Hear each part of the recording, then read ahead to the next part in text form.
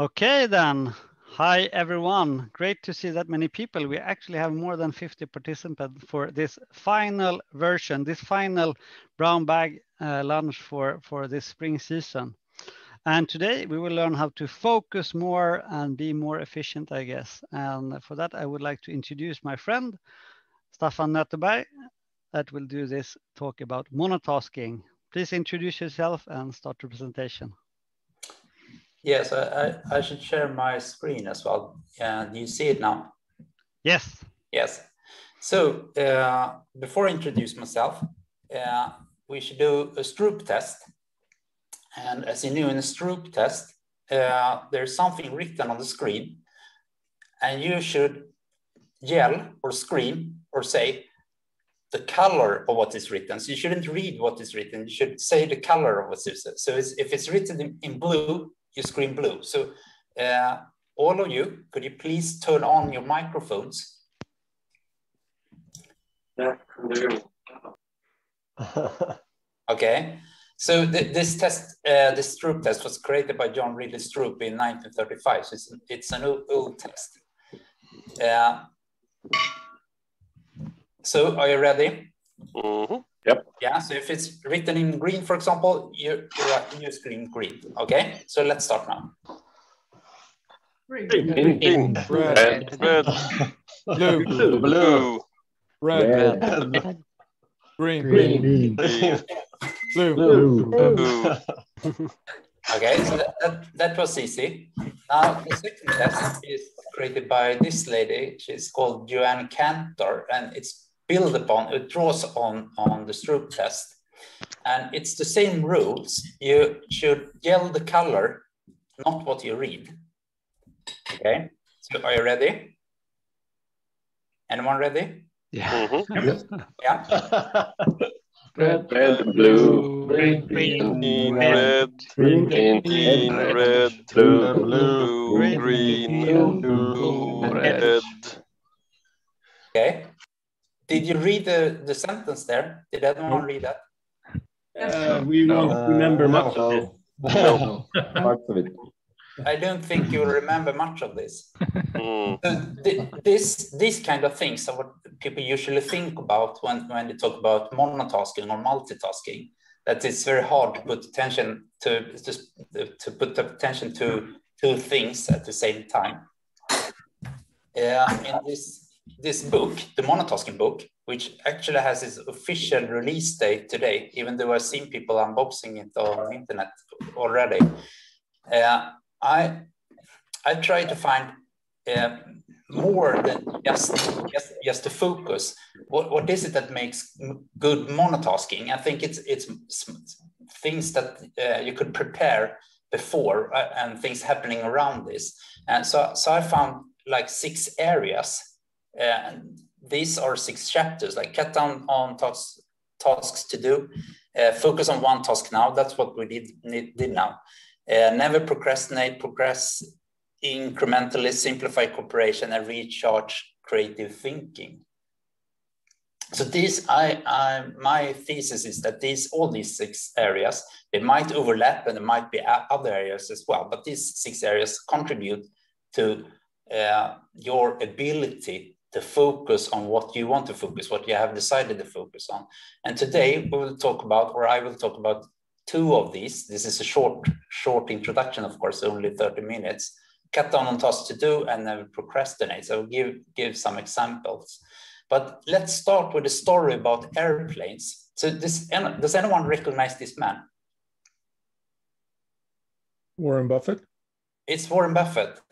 So who's Warren Buffett? It's like one of is a legendary investor, one of the, the richest men on earth, uh, or something like that. And since he's such, so rich, of course, he has his own airplane and his own pilot. And he had a pilot called Mike Flint. And one day he said to Mike, uh, Mike, can you uh, write down your top 25 career goals? So Mike went home made a list of his top 25 career goals and, and came back to, to Warren and said, Here is my list. And Warren said, Well, now, Mike, can you circle the five most important out of these 25? This was very hard for Mike, but he managed to do this to, to pick five career goals out of these 25 career goals that he was aiming for. And went back to Warren, and then Warren said, uh, what about these that you didn't circle, the other 20? And Mike said, like, well, the top five are my primary focus, but the other 20 came in a close second. So uh, they're still important. Um, I will work on these intermittently as I see fit. They are not urgent, but I still plan to give them dedicated effort. And that's when, when Warren Buffett said, no, you got it all wrong, Mike. Everything you didn't circle just became your avoid at all cost list. In Swedish, I would say uh, undvik till varje prislista, avoid at all cost list. All these 20. So no matter what, no matter what, these things get no attention from you until you succeeded with the top five. That, that's what Warren Buffett said. And five out of 25, that's like 20%, or that's exactly 20%. There's nothing magic about 20%, but we can think about 20% because you probably recognize this picture of a small weight, which says 20, that outweighs a big weight, which says 80. What do you usually call this? Pareto principle. The Pareto principle, or there's another name as well, the 80-20 principle or something like that, or the 80-20 eh, rule, or, or the Pareto principle. The Wilfred, Wilfredo Pareto was an Italian economist, lived uh, 100 years ago, a little, little more than 100 years ago, and he discovered that 20% um, of the people in England owned 80% of the wealth. And then uh, some management consultant 50 years later or something at General Motors coined this uh, term, the, the Pareto principle. Uh, but, but the idea here is that there are a few things a minority of the causes that create the majority of the impact. A minority of the causes create majority of the impact. So if we only can put our fingers on the most important thing, we will get almost all the, the, the impact without having to do so much it doesn't, I mean, this 80 20 doesn't have to sum up to, to 100. You could say like 90 15 or something like that. The, the idea is the majority and the minority, the minority of causes and the majority of, of impact.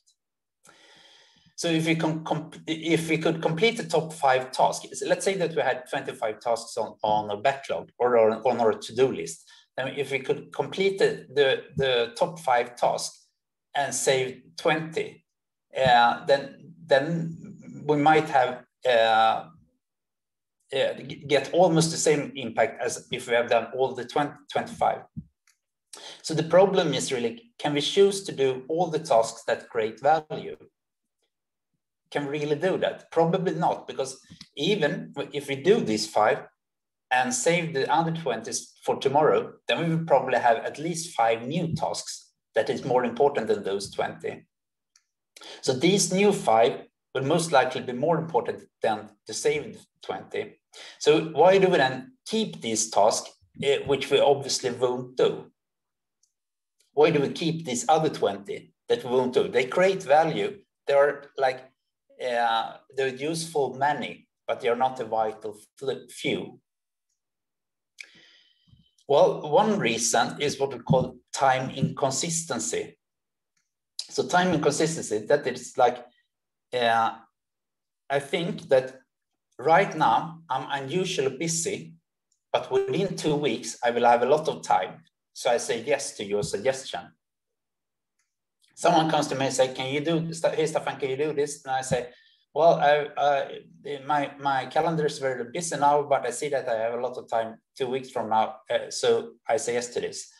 Then, when two weeks have passed, it's exactly the same situation. Right now, I'm very busy, but in two weeks' time, I have more time. And there's actually a lot of research that uh, supports this. So, for example, uh, people who visit uh, visit a city for only one day or something like that, they see more landmarks than people who stay in a city for one year. That's because they feel that, that when, when you stay there for one year, you think, I will have more time later on. Uh, so I don't need to do this today. And also in another, another study, uh, people got gift certificates to, to uh, a cake in a, like a French pastry cafe. So cafe. So uh, yeah, they, they got a voucher for a cake. And if they went there, they would get it. And on some vouchers, it says you have to, this has expired date of three weeks. And some, it said you have expired, it's expired date of three months. When they gave out these vouchers, they asked people how committed they were to you to um, re redeem these uh, vouchers. And uh, the people that had three months were more committed. But in reality, five, it was five times as likely for those that had a close expiry date to redeem these uh, uh, vouchers. Uh, because they, they felt that they would they, they had to do it now or not do it. So time time exist time inconsistency it makes us accept too many tasks on our to-do list because we think that we can do them later.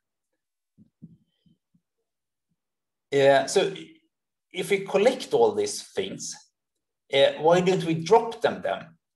If we know that we won't do them, why even keep these things uh, that we won't do? Well, one reason is something that this young lady discovered. She's called Bluma Zeigarnik, or was called. She lived like 100 years ago in the 1920s in Berlin, in Germany and she was a researcher, psychology researcher. And when she went to the, the coffee shops, the, the, the cafes in Berlin with her friends, they sat there and discussed things and they ordered cake and uh, maybe tea and they sat and discussed. I mean, there were psychology researchers that had a lot to, to discuss, the, the latest uh, new discoveries. And uh, then they, they ordered more and discussed more and ordered more and could sit there for hours. And then they called for the waiter. And when the waiter came, they said, Can we pay? And it was very strange because the waiter always knew exactly what they have ordered, even though the waiter didn't take any notes. And that was a bit provocative for a, for a little gang of uh, psychology researchers. So one day they did an experiment. They sat there, ordered things, discussed, ordered things, discussed, uh, called for the waiter, paid the, the bill, which was co absolutely correct. Then they stayed there for half an hour. And then they, they called for the waiter again and said, Hey, waiter, do you still remember what we ordered, what we paid for half an hour ago? What do you think the waiter said? No. No. No. I can't recall what you ordered since you have already paid the bill. So there's something, this was, was very interesting. Uh, Bluma thought this was really interesting. There's something about our memory when we feel that task it's done or when we have dropped it, it doesn't stay there. But as long as it's half, half done, uh, it still interrupts us. It's still there somewhere in the brain and will interrupt, interrupt us. So the question was, was, because this was a very small sample, just one waiter, could she replicate this in a scientific experiment? And she did, and she found out that unfinished tasks are remembered twice as well as completed ones. So the things that you haven't haven't uh, uh, completed will be remembered twice as twice as many of these as the completed ones. So the experiment was like this: she had like 160 people, something like that, and they got 20 tasks. And the tasks was like uh, make a box of cardboards or make clay figures or uh, solve some puzzles or some arithmetics or, or things like that. And what they didn't know, but was a part of the experiment, was that while they were doing some of these tasks, Bluma came in and said, uh, see, you're working with number five, but you can stop that now and go on and start with number six. So they were interrupted in 10 out of these 20 tasks. And then after, after this experiment, they had to wait a little, little time. And then, then Bluma said, can you write down a list now of all, all these 20 tasks? And of course, they didn't rem remember all of them, in particular, those that they had completed. So they remembered twice as many of those that they didn't have completed as uh, compared to those that they had completed. And this is usually called the Zeigarnik effect after this Bluma Zeigarnik. I call it waiter effect. It's, it's easier to remember, the waiter effect. Application of this is in cliffhangers in TV series. There's a deliberate use of the waiter effect or the, the Zeigarnik effect. You know, where the, where the hero is about to die or something, hanging from a cliff, someone is trying to shoot the hero, and you don't know what will happen. This becomes a task in your head. You want to complete this. Uh, so you immediately go to the next episode and start that one because you, you feel that you haven't completed this. So you can think of it as a model here that I created, uh, where uh, the pink part of these smileys or these heads is how much space does this task occupy in your head. So first, if you start from left, you're not aware of a task. Then you're aware of the usefulness of the task. Maybe you're working from home, you go out to the kitchen, see a lot of dirty dish there and you think maybe I should do the dishes, but you haven't started yet. So it starts to occupy some, some part of your head. Then you decide, may, maybe I should start now. I will start, I will probably start now with the dishes. It occupies a little bit more. And then you have started with it. You start doing the dishes. Even if you leave there, it will occupy a lot of, of your head because you have started with this, so you will be interrupted. If you start solving some arithmetic problems or programming something, you will be reminded that you have started the dishes and you haven't finished it until you drop this uh, thing the, to do the dishes, the idea that you will do the dishes. Either it could be because you're done with it, you have, you have already, everything is clean, or that you decide that you won't do it. Maybe you think that, well, this was the kids that created this in the first place, all this mess. So they have to solve this when they come home. Then it might disappear, or at least won't uh, take as much much uh, space. So this also this uh, pink part also creates some kind of of um, commitment, and this was proved in experiment. Um, if you see the beige bars there, the brown bars, it says six goals and one goals, and, set, and then the, the y-axis or the vertical axis says commitment gain. So uh, it was people were a little bit committed with more committed with six goals and one goals. So what does this mean? The, the experiment was like this.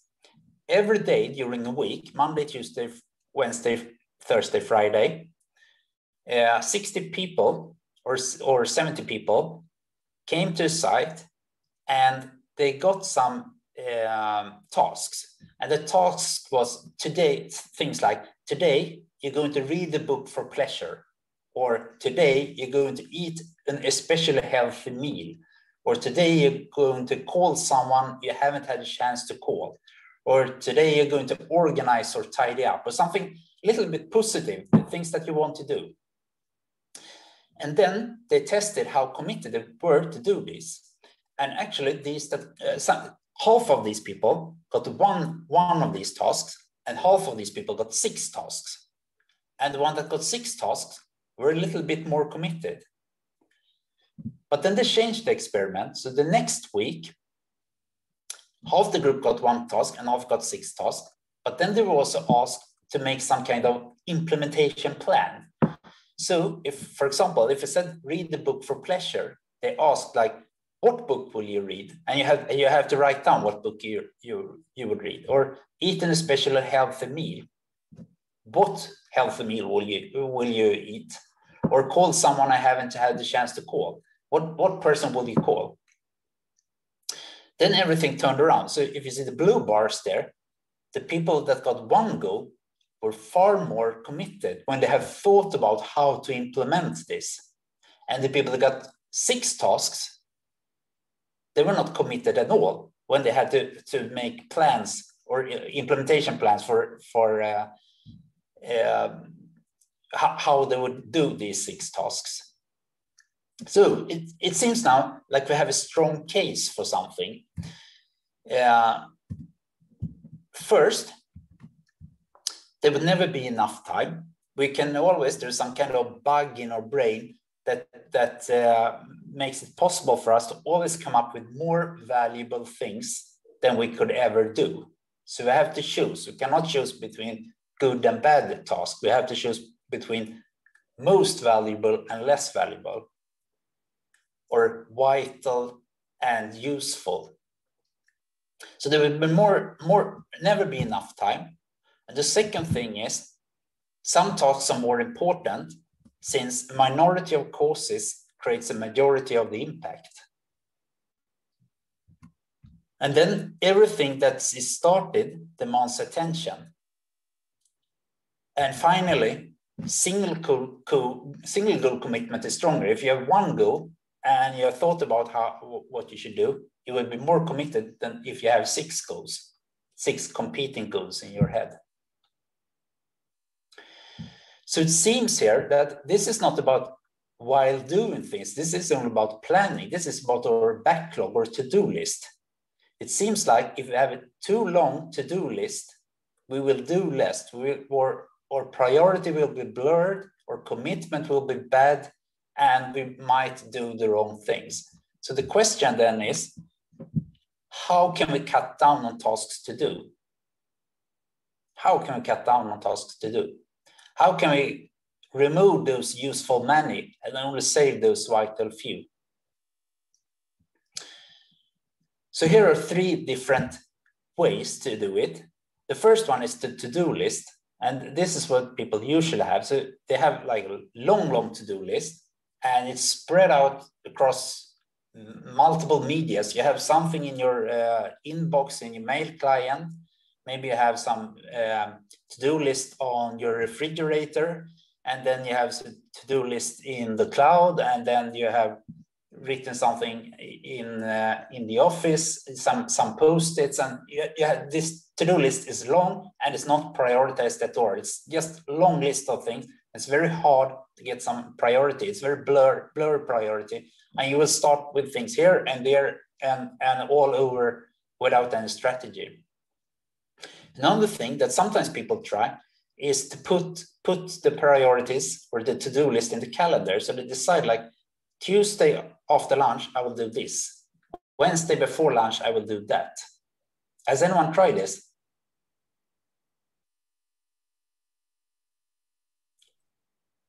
Usually there are a few who try this, and I always ask them, did it work or not? And they say, well, in the beginning it worked, but then uh, as soon as some, something took a long time, then I thought about the whole schedule was crashed because uh, the calendar is not doesn't work with this. So so uh, only if you have predictable things, you know exactly how long time it will take. You, you can use this. So the idea in the monotasking book is to make a short list instead. So every morning, you take a pen and pen and a paper, for example, or some other media, and you write down maximum five tasks. And these tasks should be small and actionable. And sm small, I mean uh, something between 10 minutes and 10, two hours or something like that.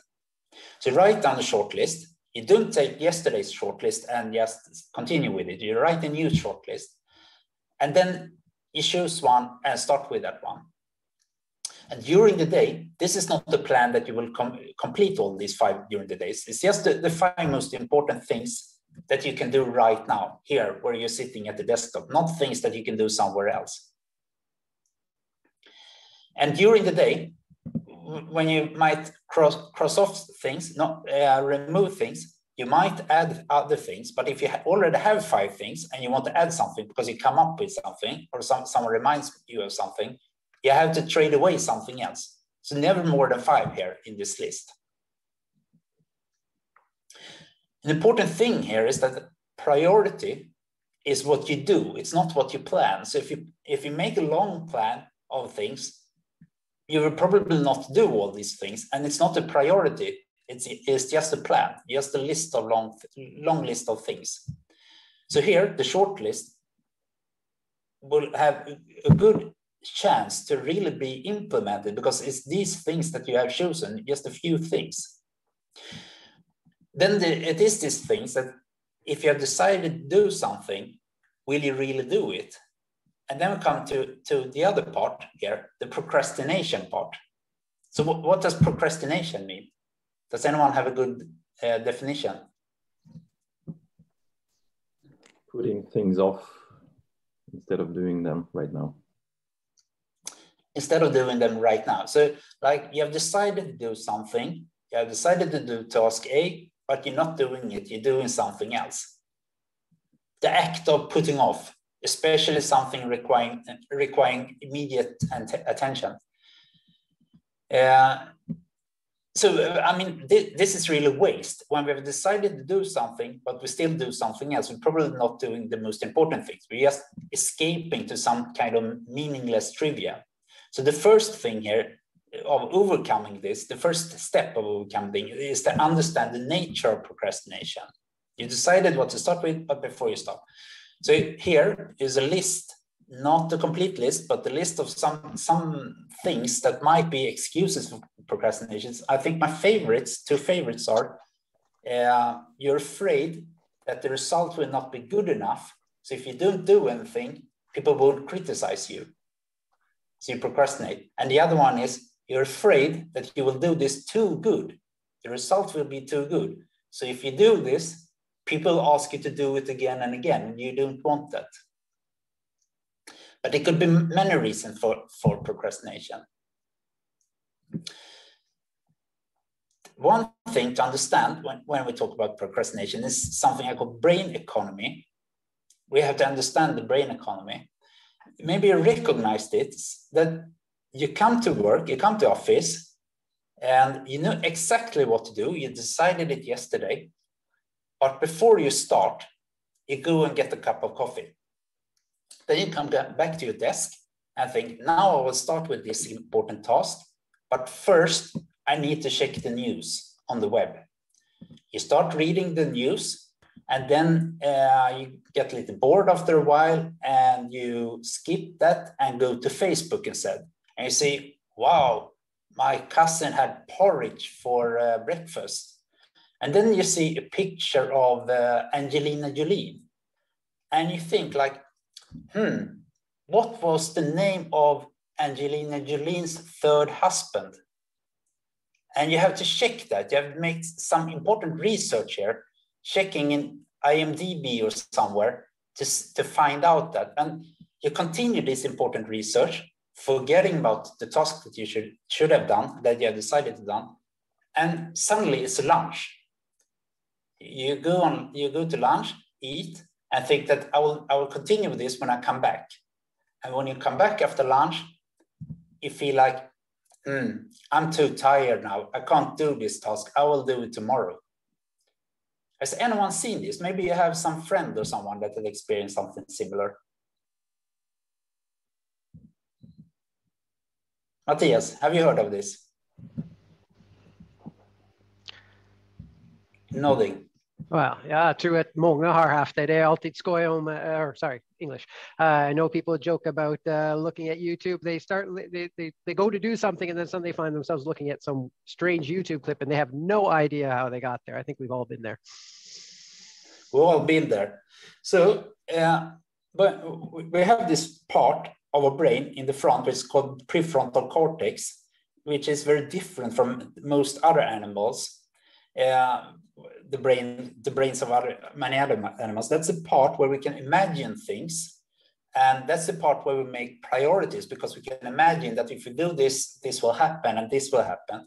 The, the problem with this this part is that it's only five percent of the size, but it demands twenty five percent of the energy of the brain. And you have most of this energy, most glucose in the morning. So if you don't start to prioritize in the morning, if you don't start with the right task, uh, it will be harder and harder as long as the day goes to start with that one. So if we could kickstart the day, if we could start with the most important thing from the beginning, maybe we won't uh, procrastinate. So how can we get started in the morning?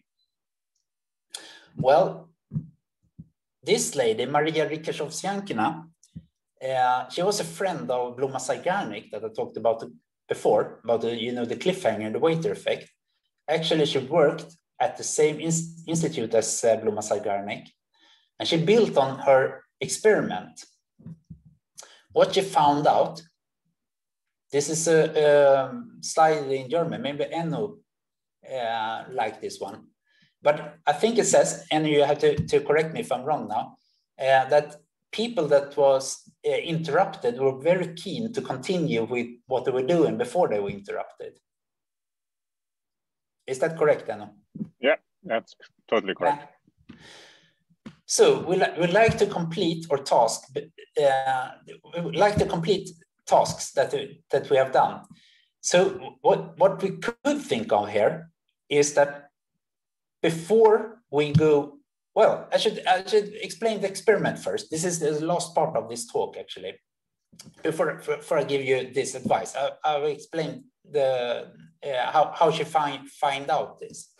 Uh, she had an experiment with a lot of people and they had small tasks like folding a paper hat or translating uh, text from German to French.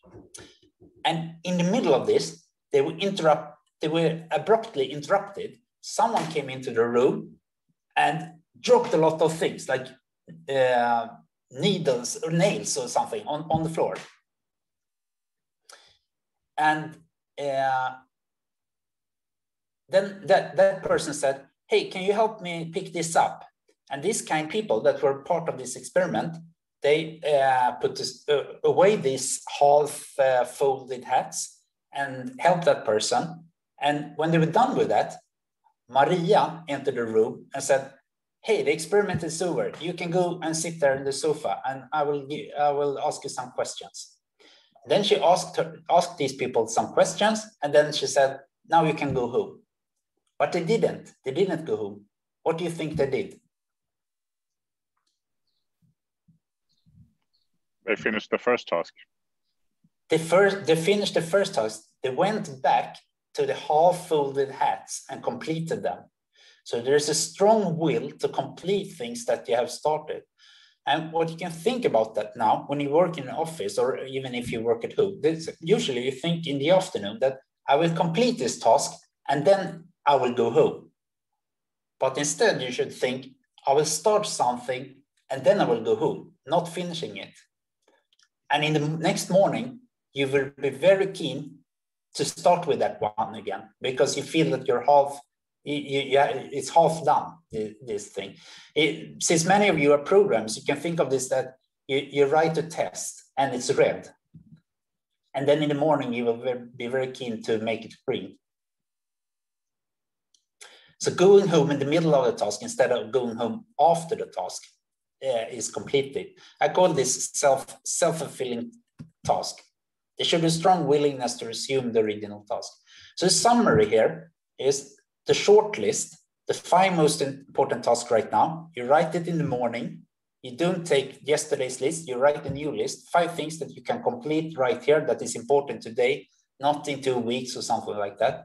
And the other thing, the self-fulfilling task, go home or stop working in the afternoon in the middle of a task.